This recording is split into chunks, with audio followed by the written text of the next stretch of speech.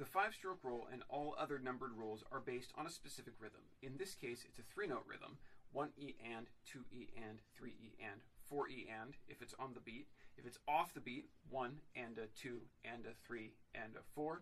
Or if it's a triplet, 1 and a 2 and a 3 and a 4. The sticking will either be a right hand lead, where every set of three notes starts on the right hand, so 1E and, 2E and, or 1 and a 2 and a, or 1 and a 2 and a.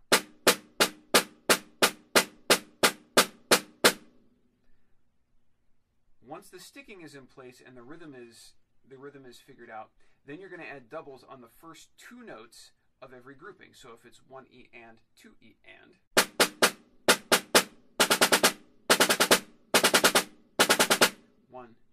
two and a.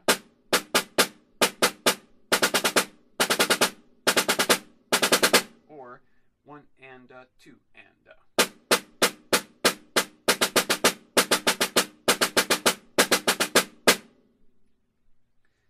The most important thing about these rolls is to get the rhythm right first. Make sure that the rhythm and the sticking is stable in whatever example or passage you're playing.